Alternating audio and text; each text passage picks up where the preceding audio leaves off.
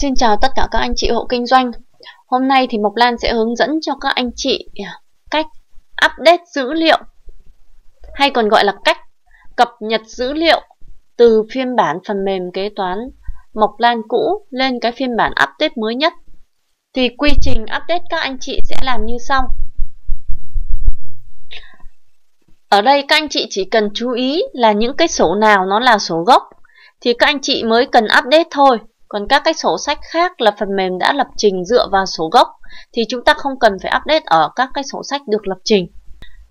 Trên màn hình của Mộc Lan đây là đang có hai phiên bản, một phiên bản thông tư 88 hộ kinh doanh, cái phiên bản này là cái phiên bản mới nhất nhé.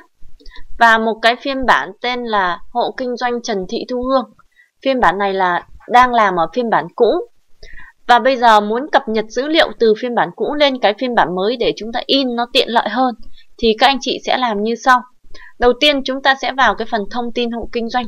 Các anh chị vào đây và copy cái thông tin hộ kinh doanh của các anh chị vào cái phiên bản mới nhất. Các anh chị bôi đen như này xong nhấn Ctrl C này. Đấy, vào thông tin hộ kinh doanh ở đây. Các anh chị Ctrl V để dán nó vào. Tương tự với địa chỉ thì các anh chị cũng sẽ copy vào.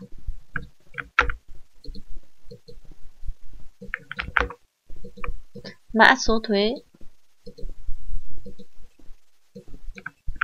Các anh chị chú ý mã số thuế các anh chị nên điền cái dấu phẩy đằng trước cái số 0 nhé. Nếu không điền dấu phẩy đằng trước thì nó sẽ bị mất số 0 đấy.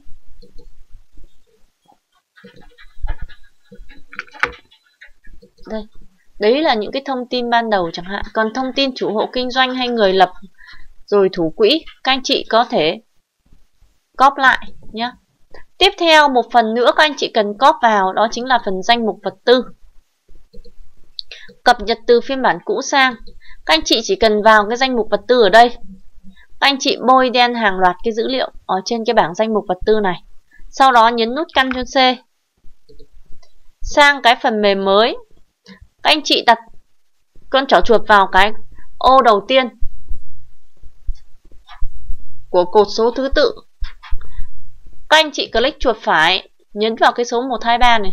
Đấy, các anh chị copy video kiểu vậy. Đấy là copy xong cái phần danh mục vật tư. Tiếp đến là đến cái phần danh mục khách hàng nhà cung cấp. Các anh chị cũng vào cái file cũ. Đi ra menu vào danh mục khách hàng nhà cung cấp copy cái mã khách hàng nhà cung cấp này, Ctrl C này, sang bên đây, dán nó vào. Đấy đấy là những cái trường dữ liệu gốc mà các anh chị cần phải khai báo trực tiếp vào. Thông tin ban đầu. Sau khi xong thông tin ban đầu rồi, thì các anh chị sẽ vào số nhập liệu chi tiết. Vào cái bản cũ, đi đến số nhập liệu chi tiết. Các anh chị bôi đen hết cái vùng dữ liệu này. Các anh chị bôi đen hết cái vùng dữ liệu đã nhập ở bên sổ nhập liệu. Copy, Ctrl C. Click chuột phải, dán vào đây. Đó. Tương tự ở đây nó lỗi NA bởi vì nó tham chiếu thì chút nữa Mộc Lan sẽ hướng dẫn. Tương tự bây giờ các anh chị sẽ sang cái sổ nhập xuất chi tiết này này. Nhập xuất chi tiết này này. Đấy. Nếu mà có kho nhá, thì các anh chị vào cái sổ nhập xuất chi tiết này sau đó các anh chị bôi đen cái vùng này và các anh chị copy. Copy đến cái phần giá bán này nhé copy đến cái phần giá bán này. Ctrl C. Cái lỗi này nếu mà trong quá, quá trình các anh chị làm mà nó hiện lên cái cảnh báo tính toán như thế này các anh chị nhấn OK này. Vào file này chọn option này. Đi đến formula này tích chọn vào cái enable này cho Mộc Lan nhé để nó không hiện lên cái cảnh báo đấy nữa thì sau đó chúng ta sẽ lại copy nốt cái số nhập xuất sang cái phần mềm mới. Copy các anh chị click chuột phải vào cái cái dòng đầu tiên của cột số thứ tự. Các anh chị nhấn 123 thế là phần mềm nó sẽ tự động dán vào. Bây giờ Mộc Lan sẽ quay ra menu này, quay lại số nhập xuất chi tiết này. Thì các anh chị sẽ thấy các cái trường thông tin còn lại giá trị như thế này. Lúc ấy chúng ta chỉ cần copy đến giá bán thôi đúng không? Nhưng mà các cái trường thông tin vừa rồi chúng ta quay ra menu và quay vào thì nó đã tự động được lập trình tính toán và nó tự động chạy lại rồi. Các anh chị thấy chưa? Đấy, đấy là các anh chị chỉ cần copy mấy cái sổ uh, mấy cái sổ gốc đấy thôi.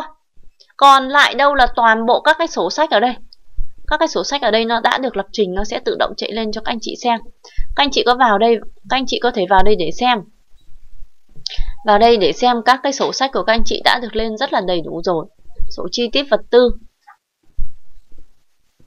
chi tiết vật tư này chút nữa Mộc Lan sẽ hướng dẫn các anh chị in nhé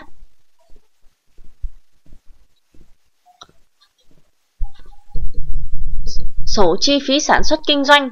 Nếu các anh chị mà không có chi phí sản xuất kinh doanh thì nó sẽ không lên đây đâu.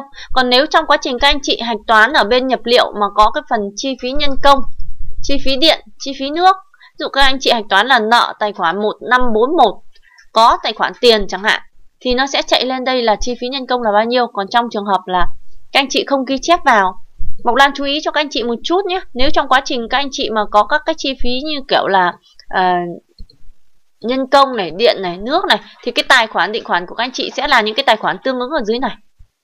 Đấy, cái tài khoản tương ứng ở dưới này. Và chúng ta sẽ phải vào cái sổ nhập liệu chi tiết này để chúng ta ghi trực tiếp vào đây. Có thể là các anh chị sẽ ghi trực tiếp vào đây. Còn nếu không có chị phát sinh thì các anh chị sẽ không ghi vào đây nữa.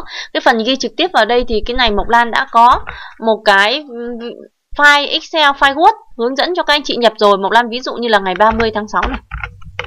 2022 này. Ở đây các anh chị ký hiệu là nghiệp vụ khác chẳng hạn.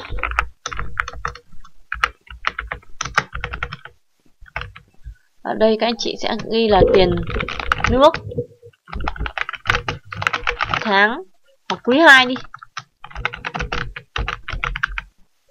Thì các anh chị sẽ định khoản là 1541 có tài khoản tiền. Số tiền là 1 triệu 500 nghìn đồng. Ngọc Lan đang ví dụ cho các anh chị xem nhé. Và bây giờ chúng ta sẽ quay sang cái phần menu các anh chị vào đây. Thì lúc này cái phần chi phí tiền nước quý 2 nó mới chạy lên. Còn trong quá trình các anh chị không hạch toán nó không tự động chạy lên đâu. Các anh chị nhé. Thế nên là các anh chị hiểu được rằng là tất cả dữ liệu ở các cái sổ này, cái phần sổ sách này và tờ khai thuế này hay là phần in phiếu thu chi này nó sẽ được tự động lấy từ sổ nhập liệu chi tiết và nhập xuất chi tiết lên. Nếu mà nói về phiếu nhập và phiếu xuất hay là tồn kho thì nó sẽ lấy ở liên quan đến kho nó sẽ lấy ở sổ nhập xuất chi tiết. Còn nếu mà các cái sổ doanh thu chi phí hay là số quỹ tiền gửi, công nợ các kiểu thì nó sẽ lấy ở nhập liệu chi tiết. Các anh chị hiểu, phải hiểu rõ được rằng là cái gốc của nó lấy từ đâu.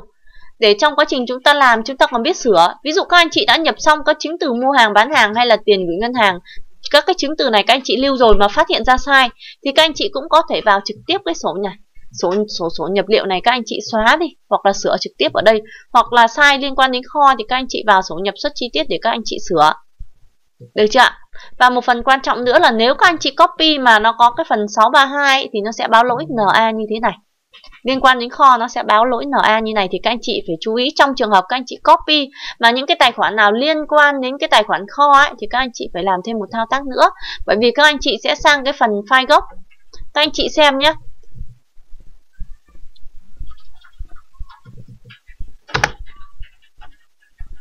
Đây là các anh chị xem này, nếu trong trường hợp cái file gốc của các anh chị nó sẽ có cái công thức tính tổng tiền nhập xuất như thế này. Tổng tiền nhập xuất như thế này, các anh chị lọc cái tài khoản bên có 156 mà xem. Đấy. Nếu nó báo lỗi NA thì các anh chị lọc cái tài khoản bên có của 156 liên quan đến kho rồi bỏ lọc ra nó sẽ không bị lỗi NA như khi nãy nữa. Và khi copy sang thì thì cái khi mà ở trên phần mềm cũ thì nó sẽ có công thức là bằng tổng tiền nhập xuất của cái OE9 này theo cái cái số phiếu xuất này. Nhưng mà các anh chị copy sang bên này, nó lại không còn công thức đấy nữa, thì các anh chị sẽ phải làm lại một cái thao tác nữa là click chuột vào lọc bên tài khoản có của kho. Dụ các anh chị có 152 thì các anh chị sẽ lọc là có của 152 có 156 thì chọn là có 156 những cái tài khoản liên quan đến kho. Và tại cái phần số tiền này, các anh chị sẽ bằng tổng tiền. Đấy, các anh chị ghi tổng tiền, nó sẽ ra gợi ý tổng tiền nhập xuất và click chọn vào cái chữ đấy. Tiếp theo nhấn vào cái ô số phiếu xuất tương ứng ở đây, đóng ngoặc lại và nhấn Enter thì nó sẽ tự động chạy ra cái giá vốn cho các anh chị nhé. Lấy kéo xuống hết, kéo xuống hết các cái dòng dưới.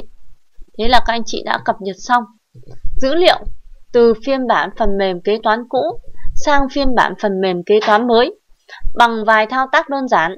Đấy là Mộc Lan hướng dẫn thôi. Còn các anh chị làm quen các anh chị chỉ copy 3 phút là xong hết. Một lượt nhập xuất nhập liệu chi tiết, một lần nhập xuất chi tiết vào mấy cái danh mục này vèo trong ba chưa đầy chưa đầy 3 phút là xong thôi. Nó rất là nhanh. Hy vọng là qua cái video này thì tất cả các anh chị của chúng ta khi có phiên bản cập nhật phần mềm mới, chúng ta có thể tự động cập nhật được, chủ động cập nhật và làm chủ phần mềm. Chúng ta đỡ bị phụ thuộc. Chúc các anh chị thao tác thành công